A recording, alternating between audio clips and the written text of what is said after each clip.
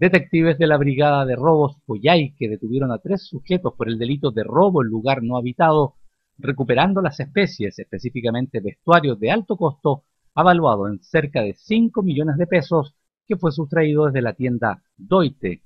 El fiscal Néstor Gómez Canales informó que los formalizados son Boris Calderón, Pablo Medina y Humberto Gajardo. Se pudo establecer luego de eh, en menos de 48 horas quiénes eran los imputados que habían participado en este robo y dónde se encontraban las especies, eh, solicitándose las respectivas órdenes de entrada y registro en los domicilios de estos sujetos y también una vez que se produjo el hallazgo en poder de uno de ellos de eh, todo el, material sustraído, se solicitaron al magistrado Mario de Bojeda las órdenes de detención. En tanto, el subcomisario René Quintanilla Torrent Señaló que las prendas fueron sustraídas desde las bodegas de la tienda hasta donde los sujetos ingresaron tras cortar los candados.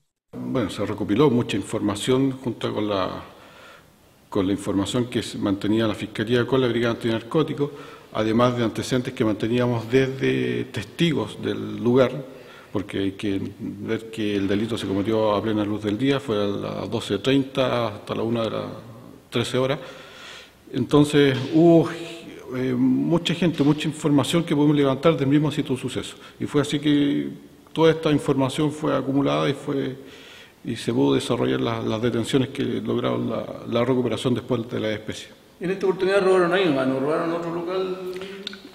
Claro, esta investigación está basada solamente en el delito que se trabajó de las bodegas de Doite, pero no obstante, igual mantenemos otra información por el mismo modo operante que trabajaron estas personas por decirlo de alguna forma, y se están eh, barajando que tengan participación en otros delitos en la, en la ciudad. Luego de reunir el vestuario, los sujetos subieron a un vehículo que los esperaba en las cercanías de la tienda. Además, el oficial de la PDI indicó que hubo varios testigos porque el delito se cometió pasado el mediodía del miércoles de la semana pasada.